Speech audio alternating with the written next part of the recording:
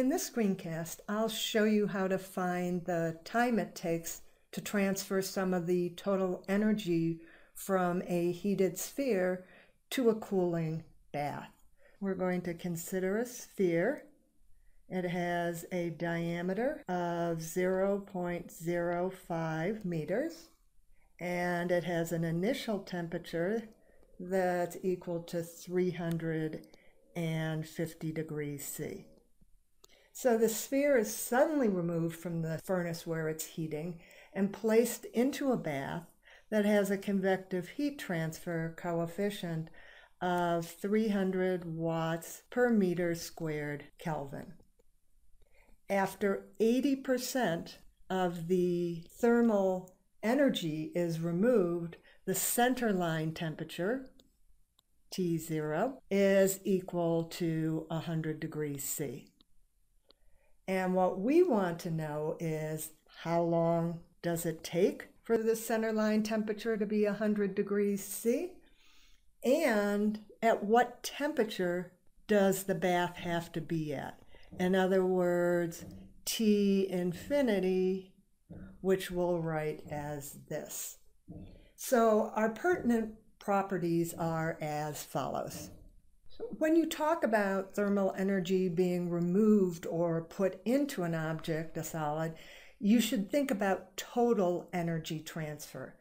In this case, we're going to use an expression for the fraction of total energy transferred.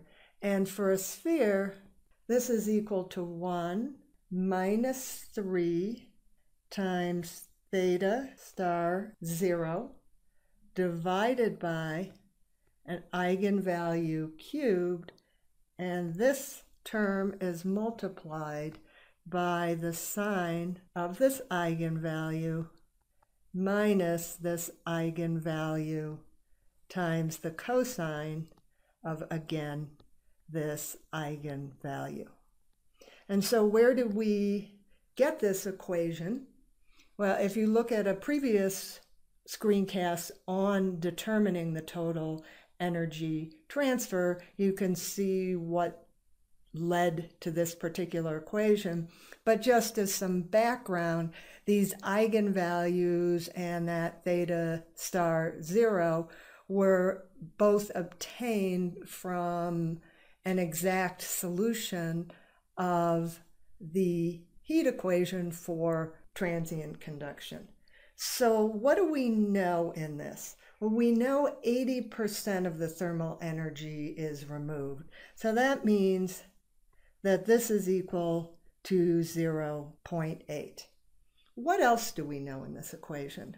If we can calculate the Biot number, which is convective heat transfer coefficient times the radius divided by the thermal conductivity. From that, we can look up on a table to find our eigenvalue and also, which we'll need later, C1. Why is that helpful? Because that's what's going to allow us to solve for our theta zero. Let's take a look at these values. Our Biot number is equal to 0.5. And so now we go to the appropriate table.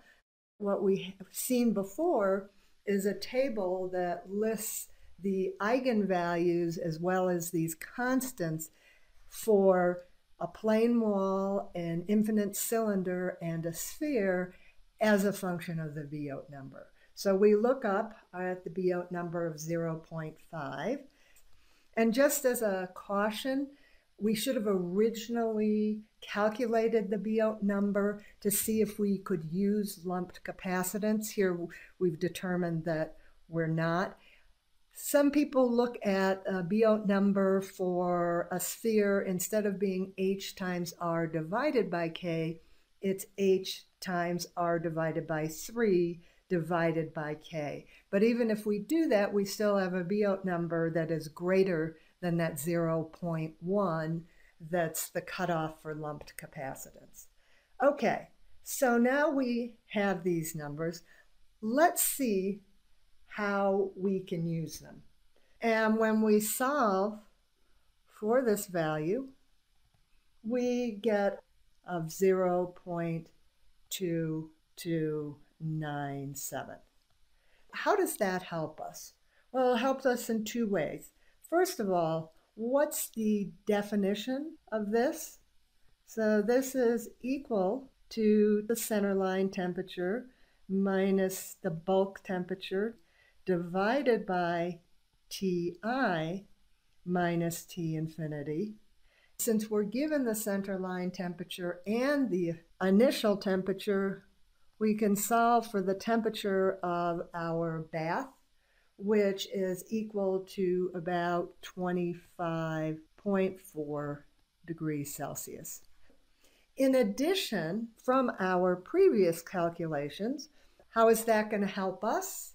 Well, from that, we can get the Fourier number, which is equal to alpha times t divided by r squared. So once we find the Fourier number, from that we can get the time. Let's start by calculating that alpha, which is our thermal conductivity. And again, where did we give these, get these values? Well, they were given to us right here in the beginning of the problem.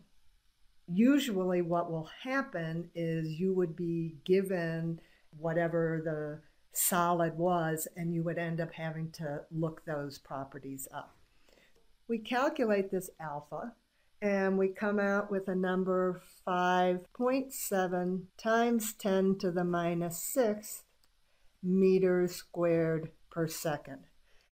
Now let's go ahead and use this equation here to solve for the Fourier number. And from here, we get a Fourier number that's equal to 1.182. And from that, we can find a time which is equal to 129.5 seconds. So a couple of things that you should take out of this screencast. Let's go back to the original problem. If you remember, we wanted to know how long it would take and what temperature of the bath it would take to remove 80% of the thermal energy. So anytime you hear that, that means that you have to use this particular expression. Here's one for the sphere, but I've shown you them for the plane wall and the cylinder as well. And so also take a look at what that gives you. In particular, you get that theta star zero, which as you can see from the rest of this problem, gives us a lot of different information.